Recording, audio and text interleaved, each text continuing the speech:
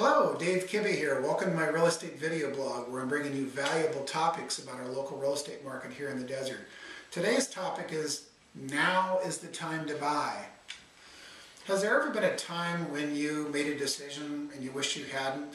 Or obviously everybody has. Let's rephrase that. Has there ever been a time in your life when you made a decision one, two, three years down the road you look back and think, gosh, I wished I would have done that? Trust me, now is the time to buy.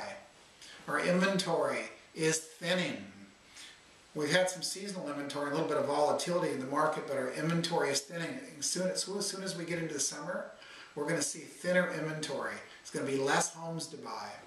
Mortgage rates are still in the 3 and 4%. Excellent time to buy.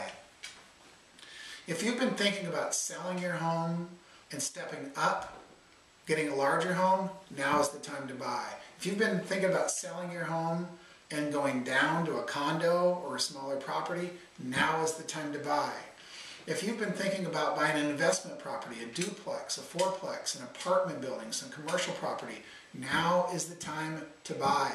Inventory is thinning, I'm telling you, it's tipping towards a seller's market do this. If you've been thinking about buying a property, get on the phone. Let's talk about what's important to you about buying your home, stepping up, stepping down, maybe buying a, a, vacation home here in the desert or an investment property. What's important to you about your investment?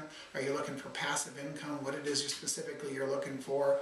I welcome your call. Let's get on the phone. Let's talk about these things and make a decision. If it is the right time to buy, let's get out and find you a home or a property that meets your needs before you, you end up paying a lot more for your property.